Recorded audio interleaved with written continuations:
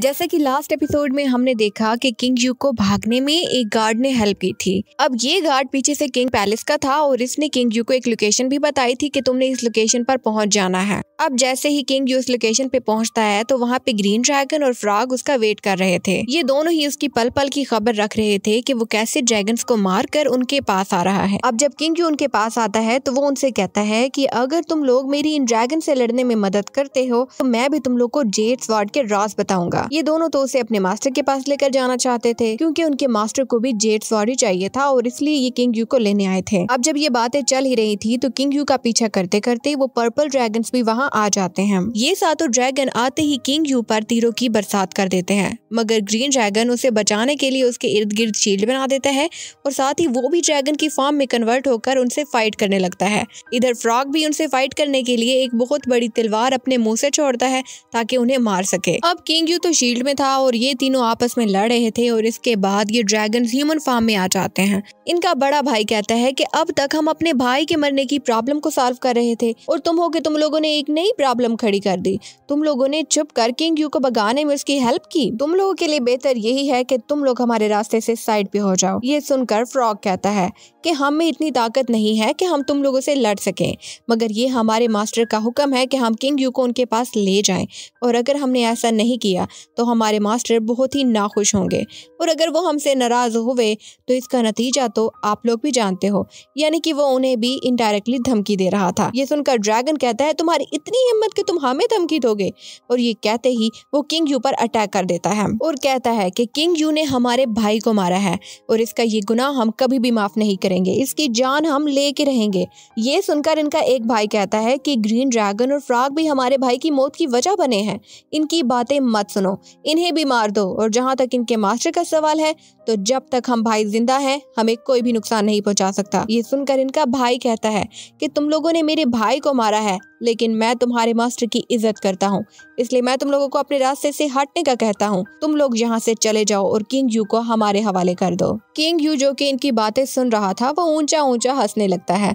तो यहाँ purple dragon उससे पूछता है कि तुम हंस क्यों रहे हो? तुम्हारे हंसने की क्या वजह है? तो वो कहता है कि तुम लोग के दूसरे भाई को मारने वाले कातिल तुम लोगों के सामने है और तुम लोग सिर्फ़ और सिर्फ़ इनके मास्टर से डर रहे हो। यही बात है कि मुझे हँसी आ गई।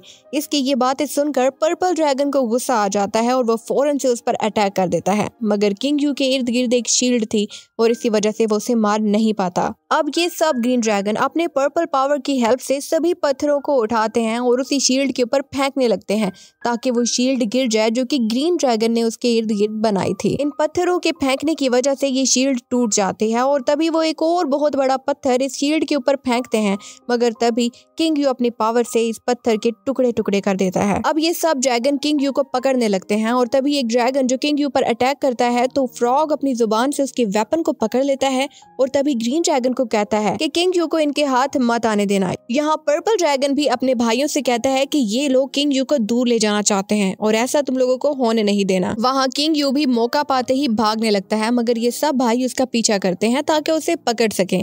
मगर ग्रीन ड्रैगन और फ्रॉग उसे भागने में मदद करते हैं। अब ये सब भाई एक दूसरे से बात करते हैं कि किंग यू की स्पीड तो बहुत ही ज़्यादा है और दूसरी तरफ़ ग्रीन ड्रैगन और फ्रॉग भी उसको भागने में हेल्प कर रहे हैं।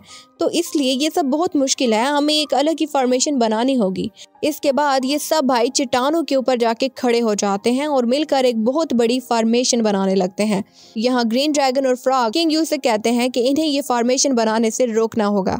ये सब मिलकर उन्हें फॉर्मेशन बनाने से रोकते हैं। किंग यू भी रोकता है, मगर कोई भी इन्हें रोक नहीं पाता और ये एक बहुत बड़ी पावरफुल शील्ड बना देते हैं। अब जबकि ये शील्ड बन ही रही थी तो मंकी जिसे कि किंग यू ने टेलीपैथी टेक्निक से बुलाया था, वो भी वहाँ आ जाता है। अब वो भी शील्ड के अंदर था किंग यू ग्रीन ड्रैगन और मंकी भी शील्ड के अंदर थे। और तभी पर्पल ड्रैगन किंग यू से कहता है कि हमने जो शील्ड बनाई है, तुम जितनी मर्ज़ी पावर यूज़ कर लो, तुम इसे तोड़ नहीं सकते। ये सुनकर किंग यू कहता है कि लड़ने से पहले तुम कैसे डिसाइड कर सकते हो कि कौन जीता और कौन हारा? ये फैसला तो अभी बाकी है। और अभी ये बातें हो ही रही थी कि मंकी जो वहाँ आ चुका था, वो उनमें से एक भाई जो कि पहले से ही इंजर्ड था, उसे पकड़कर एक स्पेयर में कैद कैद कर देता है और उन सब भाइयों से कहता है, तुम सातों भाई, मेरी बात सुनो। इस शील्ड को तोड़ दो, वरना तुम्हारे इस भाई को मैं जला दूँगा और साथ ही साथ तुम सब भाइयों को भी मार दूँगा इसकी ये बात सुनकर एक पर्पल ड्रैगन को गुस्सा आता है और वो मंकी पर अटैक करने के लिए आता है, मगर मंकी उस पर अटैक करके उसे मार देता है और कहता है, तुम्हें बहुत शौक था ना मुझसे लड़ने का, अब मज़ा चखो यहाँ अपने भाइयों को मरते हुए देखकर बाकी भाई मिलकर मंकी पर अटैक कर देते हैं, मगर मंकी इनसे बचता जाता है। अब जबकि ये सब कुछ चल ही रहा था। अब जबकि ये सब कुछ चल ही रहा था तो पानी में एक अलग किस्म की मूवमेंट होती है और तभी वहाँ पे आवाज़ आती है। बहुत अफसोस हुआ कि तुम इतने पावरफुल ड्रैगन होने के बावजूद एक लड़के से हार रहे हो, जो अभी तक दो जोंग लेवल पर भी नहीं पहुँचा। बहुत ज़्यादा अफसोस हुआ और तभी वहाँ पर एक बहुत बड़े ड्रैगन पर खड़ा ग्रीन ड्रैगन का मास्टर आ जाता है। उसके साथ एक लड़का भी था, जिसका नाम साइजैन था। अब ये मास्टर आकर फ्राग और पहले वाले उनके ग्रीन ड्रैगन सर्वेंट से कहता है कि तुम लोग यहाँ से चले जाओ अगली की लड़ाई सैन जैन करेगा। सैन जैन वही लड़का है जो कि उस मास्टर के साथ आया हुआ है। यहाँ ग्रीन ड्रैगन जो ये सब देख रहे थे, उनका बड़ा भाई कहता है कि तुम लोग हमारे रास्ते से हट जाओ, ये हमारी और किंग यू की लड़ाई है। अगर तुम लोग यहाँ से चले जाओगे तो हम ये भी भूल जाएँगे कि तुम लोगों ने हमारे भाई को मारा है। ये सुनकर सैन जैन कहता है कि तुम्हारी इतनी हिम्मत कि तुम मुझे बताओगे कि मुझे क्या करना है। तुम लोगों की सुनू, जो कि अपने भाई को बचा भी नहीं सके। ये सुनकर एक पर्पल ड्रैगन को गुस्सा आता है और वो सैन जैन से कहता है मैं तुम्हें ज़िंदा नहीं छोड़ूँगा। इस पर सैन जैन को भी गुस्सा आ जाता है और वो अपनी तीसरी आँख खोलता है।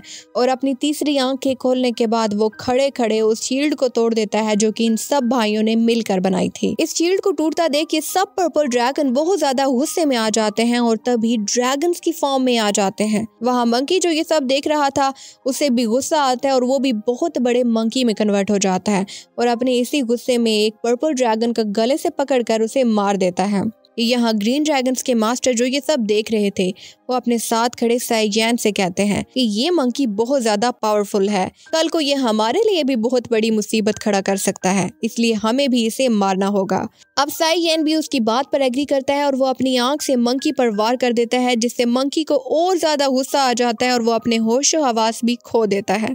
और जैसे ही वो अपने होश में नहीं रहता तो वो किंग यू पर ही अटैक करने लगता है। यहाँ किंग यू से बचाने की कोशिश करता है, ताकि वो वापस होश में आ सके और अच्छे से लड़ाई लड़ सके। दूसरी तरफ़ पर्पल ड्रैगन, ग्रीन ड्रैगन से कहता है कि तुम लोग भी हमारे साथ मिल जाओ और हम सब मिलकर इस मंकी को मार देंगे। लेकिन यहाँ किंग यू बहुत ज़्यादा परेशान था और वो मंकी को बार बार होश में लाने की कोशिशों में नाकाम हो रहा था। लेकिन उसने भी डिसाइड कर लिया था कि वो अपने दोस्त को मरने नहीं देगा और किसी न किसी तरह उसे होश में ला के रहेगा। अब इसी सब में ग्रीन ड्रैगन का मास्टर उस पर अटैक कर देता है और वहाँ साई चैन भी अपनी ज़ुबान से मंकी का गला पकड़ लेता है।